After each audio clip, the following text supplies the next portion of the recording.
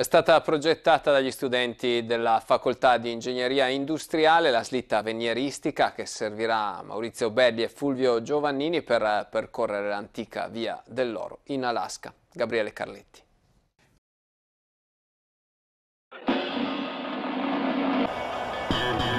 Questa singolare slitta con le ruote tra pochi giorni partirà per l'Alaska in carbonio e lega di alluminio e ad alto tasso di tecnologia. Percorrerà 1300 km attraverso neve, ghiaccio e asfalto sulle tracce dei cercatori d'oro di fine 800.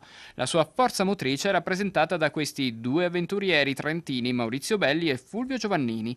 La trascineranno sci ai piedi attraverso il fiume Yukon fino a Ninana e poi lì, dove il ghiaccio lascerà il posto all'asfalto, monteranno le ruote per proseguire a piedi con la slitta che si trasformerà in carretto fino ad Anchorage.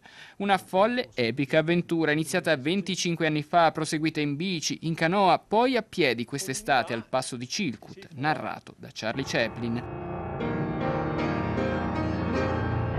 La slitta con le ruote sarà la loro compagna di avventure, trasporterà cibo, attrezzature e tende, proteggendo il carico dal freddo, dagli urti e dalle abrasioni. A progettarlo un gruppo di studenti del Dipartimento di Ingegneria Industriale dell'Università di Trento.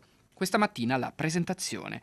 Il viaggio nel Grande Nord inizierà invece il 22 febbraio. Impiegheranno due mesi e affronteranno temperature fino a meno 30, meno 40, con l'aiuto della sola forza fisica e della loro determinazione.